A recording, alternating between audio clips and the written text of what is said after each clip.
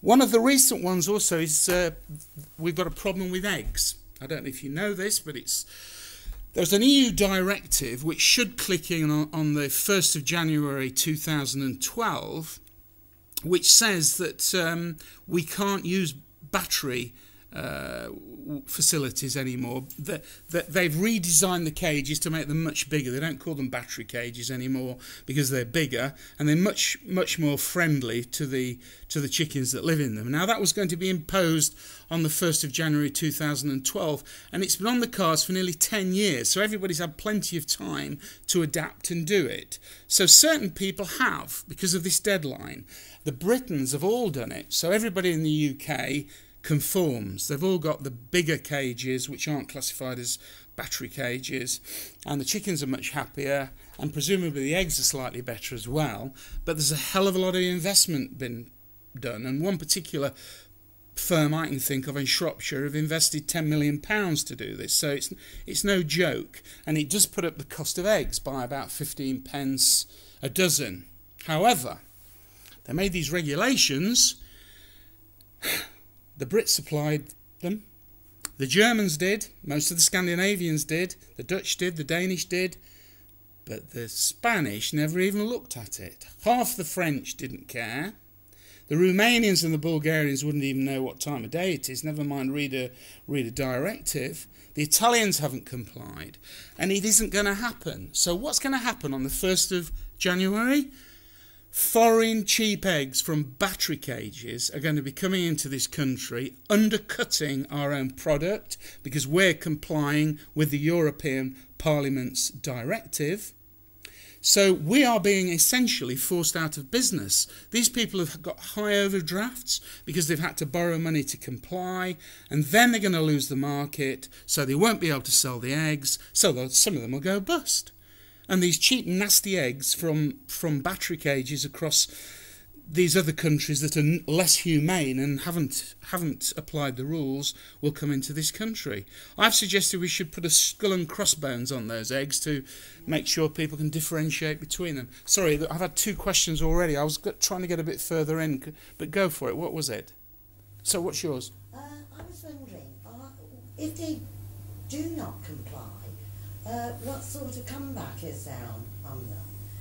Well, that's what I'm saying. The European Parliament, although they've made the legislation and the regulation, are now saying, after all this time, 10 years, and everybody's complied, are saying, oh, it doesn't really matter. We won't bother. We'll we won't police it properly. So the Spanish will be able to do, keep going as, as they have done and as they are doing. Incidentally, there's a lot of salmonella problems in Spanish eggs as well, so watch out for those. That isn't a smear, that is true. The statistics are showing it. Whereas the Germans have uh, haven't got any salmonella and we haven't either. So there's a discrepancy in the quality, but there's also this problem with the battery cages. So they're not they're not compliant to the regulations, but the commission aren't going to do anything about it. And it asks the question why do we bother? Why do we bother complying with EU regulations when at the end of the day they're toothless and they don't enforce? Uh, that's one of the things that has always annoyed me. It seems that our Parliament, uh, they're just not. They just go along with it. They, they never seem to. They're gutless. Yes. Yeah.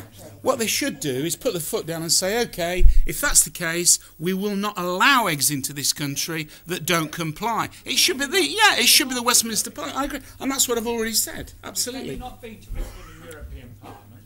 Pardon? Can you not veto that? Uh, well, look, I've, I, I voted against it in the European Parliament. Insufficient numbers in there. In fact, I, together with one other MEP, brought forward a special bill into the Parliament for MEPs to sign saying that the thing should be enforced because so many people have spent so much money upgrading. And I did that, but it failed because not enough people. You see, if you've got all the Spanish and the Bulgarians and the Romanians and all the Italians and everybody else who doesn't comply, they're never going to sign something like that. The countries do not comply, all they get is a slap on the wrist and do what they like. Yeah, it's, it's, it's just the same as. It's like Correct. It's like the French overfished. The French overfished in our, it, basically in our form. These lamp bulbs, and they're, and they're nowhere near as superior to what our old incandescent bulbs. That's right. You So are can't- you going to ask a question as well? Should we get rid of some? Were you going to ask a question? I read uh, a couple of months ago that Tesco and Asda Walmart uh, actually said they will not import those eggs. But you know, you can't enforce it, can you? No, but that's just two companies, and also you've got a whole range of other problems with egg products because a lot of eggs are imported into the country not as eggs but as egg powder to go into industry to make cakes, to do all sorts of things.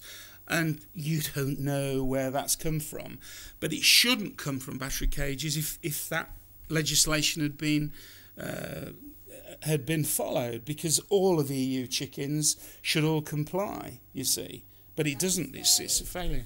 So, gentlemen over there, yeah. I think you only need a rumour to enforce it. A few months ago, there was the rumour that was it Spanish cucumbers or tomatoes were Yeah. causing um, Yes. In Germany, yeah. and they decimated the Spanish crop instantly. That's right. That's all you've got to do with the eggs. Well, let's try and do it then, because it's going to happen on the first of January, and I'd like to see, I'd like to see what happens there.